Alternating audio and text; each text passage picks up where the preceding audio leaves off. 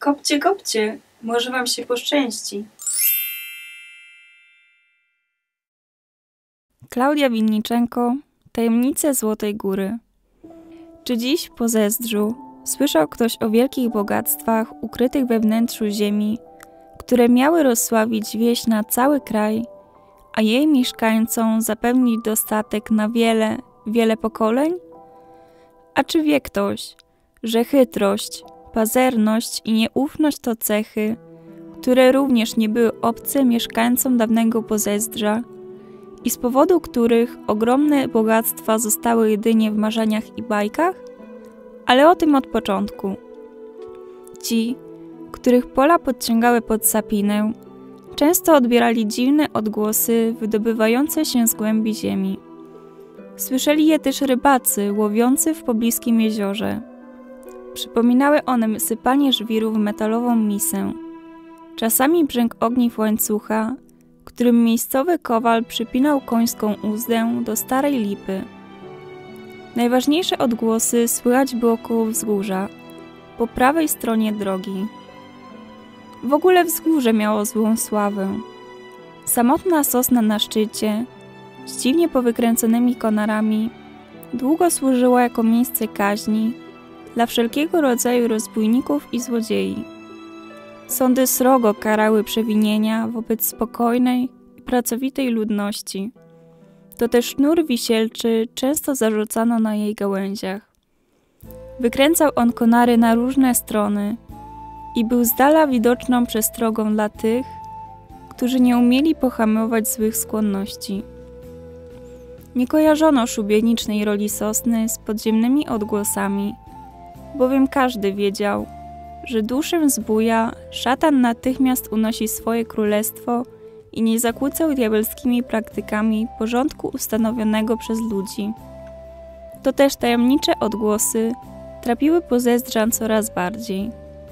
Któregoś dnia podjęto decyzję, że pójdą w kilkunastu chłopa, wykopią głęboki dół, zajrzą w głąb ziemi i wreszcie rozwieją obawy, zaspokoją ciekawość, a przede wszystkim dadzą odpór babskim jezorom, plotącym o jakiejś zbójeckiej jaskini ze skarbami. A baby, jak to baby, przerażone niepewnością losu swych chłopów, pognały w stronę kłód, gdzie w ostępie leśnym, otoczonym rojem dzikiej zwierzyny, żył siwobrody starzec, mędrzec nad mędrcami.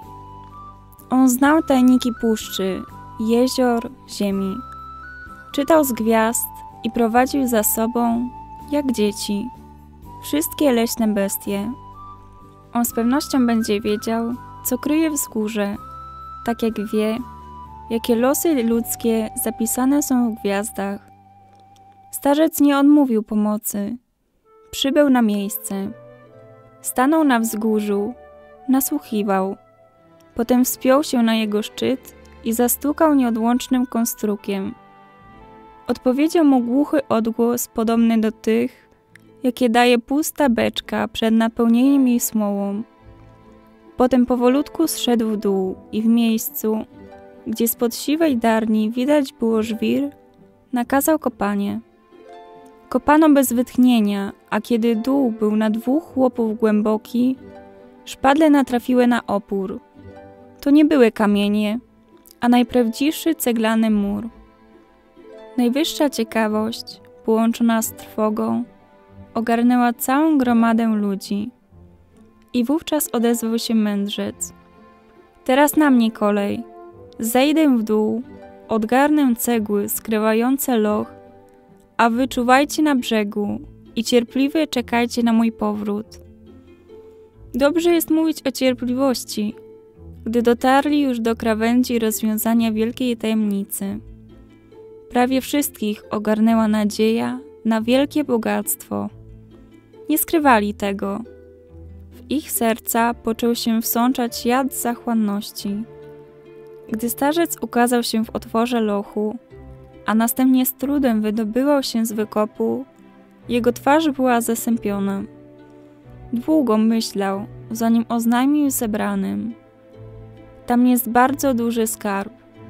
W ogromnej skrzyni leżą srebrne i złote monety i wiele różnych bezcennych przedmiotów, które dadzą Wam, dzieciom i Waszym wnukom dostatnie życie. W prawym rogu skrzyni znajduje się skórzany trzos. Ten trzos przeznaczony jest dla mnie. Otwarte ze zdumienia usta zacisnęły się, oczy zwężyły, a pod kudłatymi czuprynami zakłębiły się złe myśli. Po cóż temu głupiemu starcowi trzosik? Najpewniej kryje się w nim najcenniejszy skarb. On chce nas zubożyć.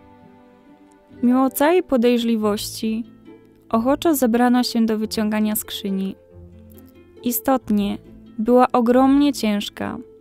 Jeszcze kilka pociągnięć, jeszcze trochę osypującego się piasku i ciemny kolos stanął na brzegu wykopu. Trudno było oderwać oczy od metalowych okuć i przypruszonego pyłem wieka. Ten skarb jest nasz i tylko nasz, nikomu nic z tego. Kołatało niejedno serce. Już zaprzęgano konie, aby skrzynię zaciągnęły do wsi. Już wymieniono mocującą ją linę, gdy ktoś spostrzegł drobną postać starca, intruza stojącego opodal z opuszczoną nisko głową. A ty, stary dziadzie, na co czekasz? Idź skąd przyszedłeś. Nie tobie złoto, bo nawet nie potrafisz go spożytkować. Idź precz do swojej pustelni i swoich bestii. Krzyczano w stronę siwobrodego. Starzec podniósł schyloną głowę, ujął w dłonie nieodłączny kij i krzyknął głosem tak mocnym, że aż echo wbiło się ścianę pobliskiego lasu. Nieszczęśnicy! Wasza zachłanność będzie waszą klęską. Ustąpcie. Za chwilę złoto wam przeznaczone przepadnie. Odejdźcie od skrzyni. Przerażeni odskoczyli i w tym momencie rozluźnione sznury opadły, a skrzynia poczęła się suwać w stronę sapiny. Ryła za sobą głęboki rów, jakby ciągnęła sto pługów. Jeszcze ten i ów wyrwał się, aby skarby zatrzymać, ale starzec laskę do góry podniósł i śmiałka wstrzymał.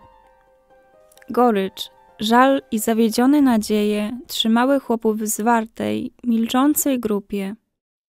Widzieli, jak cenna skrzynia przewraca się na boki, jak porywa za sobą gałęzie wierzby, jak miażdży przybrzeżne pędy tataraku, aby zanurzyć się w głębinie sapiny a potem już tylko setki, tysiące bąbelków na wodzie i cisza. Starzec powolutku oddalał się od zamarłej grupy chłopów. Jeszcze przed zakrętem ścieżki odwrócił się. Baliście się, że uszczknę wam trochę złota, że zubożę was. Ileż was głupoty! Przeznaczonym dla mnie trzosiku były jedynie złote rękawiczki – mający magiczną moc uzdrawiania ludzi i zwierząt. Wasza chciwość pozbawiła was majątku, a mnie mocy uzdrawiania. I gdy postać starca zniknęła za pierwszymi brzozami zakrętu, do zebranych doleciał jeszcze jego głos. Długo będziecie musieli uczyć się mądrości przez całe pokolenia Powrót do wsi przypominał kondukt pogrzebowy. Zafrasowane miny, spuszczone głowy i tylko zdarta z dłoni skóra mówiła, że trud był nad wyraz ciężki. Przejścia ze skrzynią przez dłuższy czas trzymano w tajemnicy, a udawało się tym łatwiej, że pod Złotą Górą, jak poczęto nazywać wzgórze, ucichły wszelkie szmery.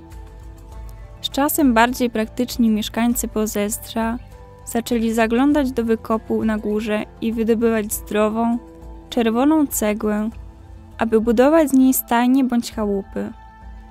Sporo cegły musiało tam być, jeśli przez wiele, wiele lat pokazywano solidne stajnie, wzniesione z lochów kryjących skarb. I nazwiska obrodnych chłopów też przekazywano następnym pokoleniom. Tylko o samotnej sośnie szybko zapomniano. Okryta wisielczą sławą, smagana wichrami, z korzeniami wbitymi w odkryte stropy lochu, wyschła. Nie przeszła do legendy jak skrzynia ze złotem, bo w legendach nie ma miejsca dla sosen, nawet tych z najbardziej powykręconymi konarami.